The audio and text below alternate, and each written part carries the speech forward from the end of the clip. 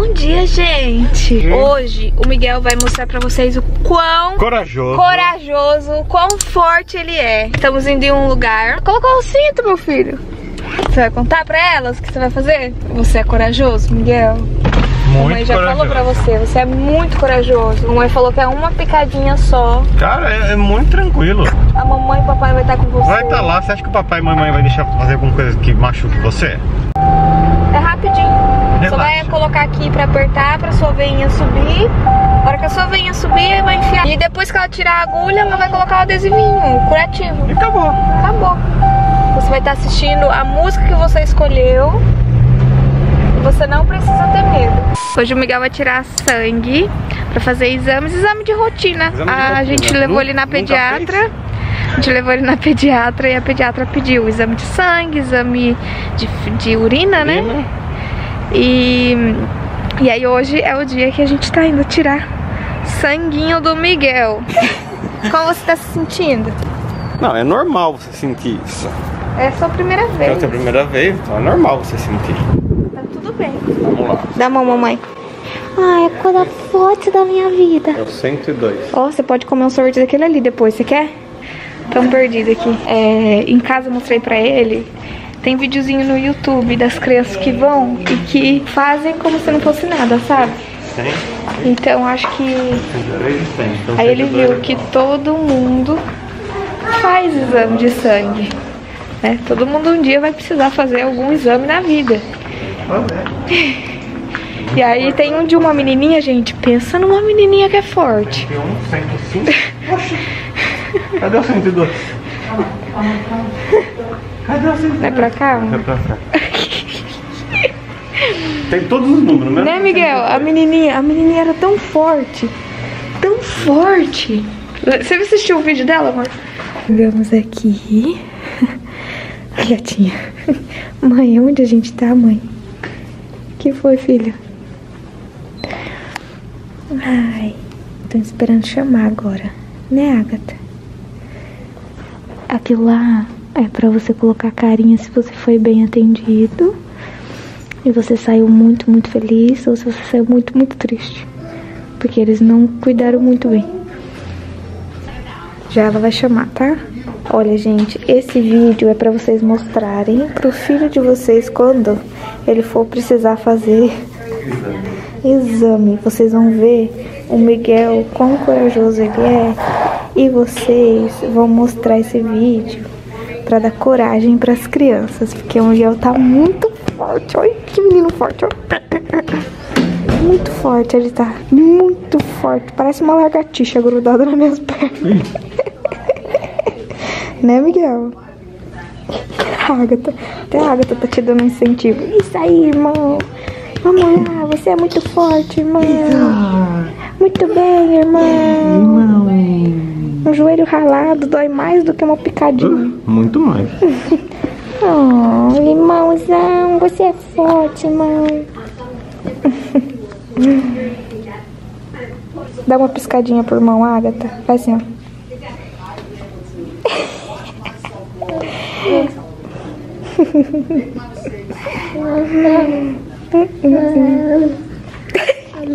Sorri, sorri. Lembra que a mãe ensinou que se você dá risada, você ficar muito feliz, vai passar logo. Você tem que fazer.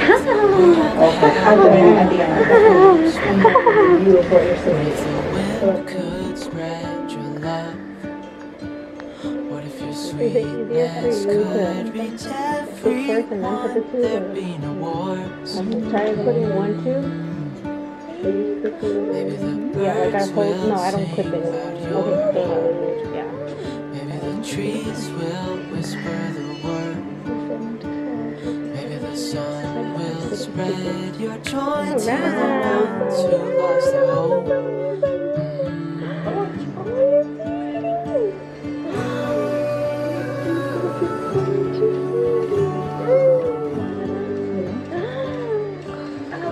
So.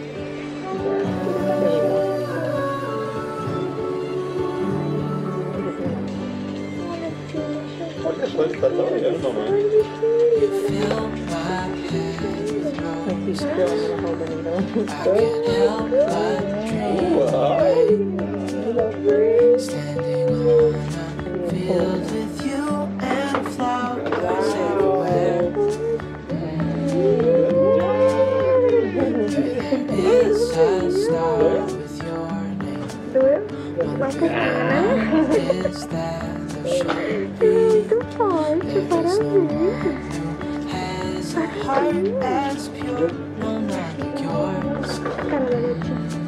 Tudo bem. Não doeu? Só começo. Só no começo, a hora que enfia, né? Mamãe te falou que era só na hora que E enfia. depois?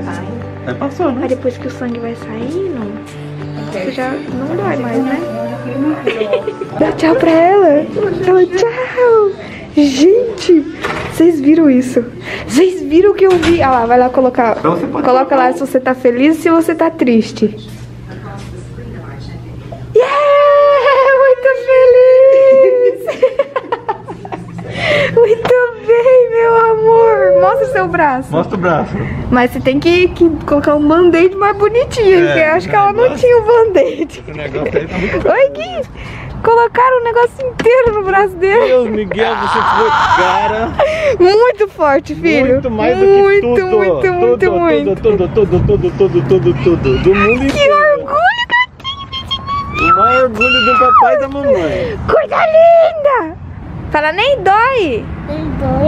Vergonha. Nem dói, crianças. E o Osmar segurando a música, ele nem olhando Nem pra olhando música pra ele tava. Eu tava olhando negócio. Esse queria ver o negócio saindo sangue, é?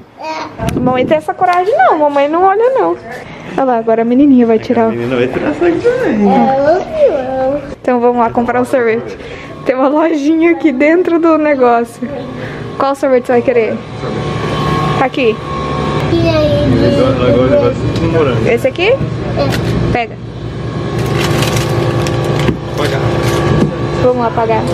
Gente, agora, porque o Miguel foi muito corajoso, ele pediu pra gente vir aqui no restaurante do dinossauro, né, Agatha? Pra ele escolher um presente. Osmar tá ali, ó, com ele. É, meu amor! Olha só, tem um dinossauro gigante aqui.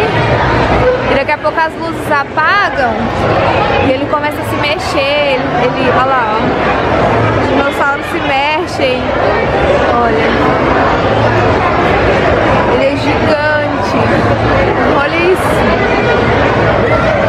Olha lá o presente que ele escolheu. Deixa eu ver. Ele que estica. Ah! Ele, ele, ele brilha. Esse foi o seu presente de forte. Eita! A cara da Agatha. Deixa a irmã ver. Quer morar um pouquinho? É, é estranho. E É bem estranho, hein, irmão? Gente, tá muito cheio. Senão eu entrava lá dentro. Esse é um restaurante muito legal. Tem muita coisa lá dentro diferente, sabe? Mas tá muito cheio. Gente do céu, vocês viram isso? O Miguel simplesmente surpreendeu a gente, assim, de um jeito que, nossa, eu tava assim. Sabe quando você passa pra criança segurança, mas você não está segura daquilo? E foi muito engraçado porque antes de sair de casa eu conversei muito com ele. E eu conversava com ele como se fosse algo normal, sabe? Como se eu falava pra ele, eu falava, olha, todo mundo faz. Lembra que a mamãe fazia? É, eu mostrei os videozinhos dele. Gente, no YouTube tem um tanto de vídeo de crianças que tiram o sangue como se... Então serve muito de exemplo pra, pra gente poder mostrar pra eles porque tá ali, né, no mundinho deles. É uma criança, tá passando pelo mesmo que eles vão passar. E explicar o processo de tudo também pra ele. Então eu falava, olha, ela vai amarrar uma coisa no seu braço, que é pra sua veinha subir, pra ela ficar é um pouquinho mais pra cima, vai apertar um pouquinho, depois ela vai colocar a agulha, a agulha é muito fininha, vai ser só uma picadinha, você vai ver o sanguinho saindo e tal. Então eu expliquei tudo pra ele, como ia ser o passo a passo, sabe? E o mais importante é você falar o quanto seu filho é corajoso, o quanto seu filho é forte e o quanto você tem orgulho dele, porque isso vai passar uma segurança muito grande pra ele. Então, se você puder, faz uma oração antes com ele, sabe? Porque ele vai ouvir você pedindo pra Deus cuidar dele. E antes da gente sair de casa, eu falei pra ele: Deus tá cuidando de você, lembra? Os anjinhos estão do seu lado. Então, isso também fez muita diferença, porque depois a gente até conversou, eu falei, viu? Eu falei pra você, Deus tava cuidando de você, nenhum mal ia te acontecer. Mamãe e papai estavam com você, os anjinhos estavam ali do seu lado. Que assim, falar a verdade pra criança, sabe? Não falar, olha, vamos dar um passeio, vamos ali no parquinho tomar um sorvete. E chega lá, do nada a criança é furada e do nada a criança tem que tirar sangue, né? Então, falar sempre a verdade pra criança. Às vezes a gente acha que a criança não vai entender a forma que a gente tá falando, como a gente tá falando, mas elas entendem sim, elas são muito inteligentes. E na idade do Miguel ainda, eu acho que eles entendem além do que a gente pensa que eles entendem, sabe? E uma coisa que incentivou ele também é que eu falei assim: olha, você pode escolher qualquer música. Qualquer música entra aqui, escolhe uma música que você gosta que tem um clipe assim legal. E a hora que ela começar a fazer, o papai vai ligar. É, a gente vai colocar essa música e o papai vai dançar pra você. Eu perguntei pra ele, você quer que a mamãe ou o papai dance? Daí ele, papai. Você quer que a mamãe te segure? Sim, a mamãe segura. Eu não sei se dá pra ver, mas eu mal queria olhar na agulha, porque quando eu vou tirar sangue, eu ainda falei pra ele, quando eu vou tirar sangue, eu fico assim, ó. Então eu falava pra ele, Miguel, olha pro celular, Miguel, olha pro celular que tá ali daquele lado. E não precisou, porque ele ficou olhando. Quando ele tinha um ano e pouco, dois anos, ele precisou tirar sangue no hospital. Porque ele tava com algum vírus e ele teve que tirar sangue. E eu lembro que eu segurei ele. E a minha mãe que tirou. E ele ficou traumatizado quando ele via minha mãe de branco.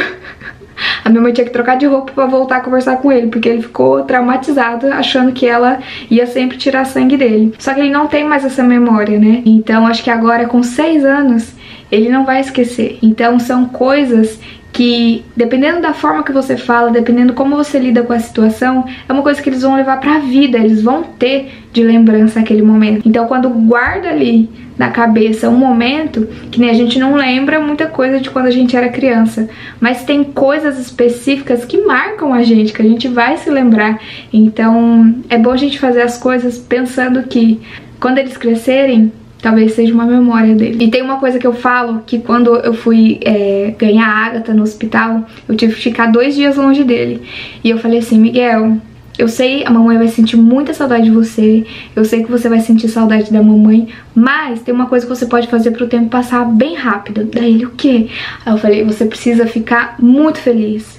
Você precisa se divertir muito, você precisa fazer tudo que você gosta. Por quê? Porque você ficando feliz, o tempo vai passar logo e a mamãe vai chegar logo.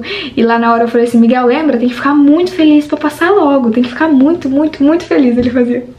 E foi tudo bem, tudo tranquilo de ter passado por, por essa fase sem ser traumático, sem choro. E comenta aqui embaixo como foi a experiência aí com o filho de vocês, se vocês já tiveram essa experiência, se vocês também, como eu, sentem um... Porque é normal, somos mães. E lidar com momentos, primeiros momentos assim, a gente precisa de muita sabedoria. E eu tenho pedido muito pra Deus isso, muita sabedoria. E é isso, eu espero muito que vocês tenham gostado do vídeo. Um beijo e até amanhã.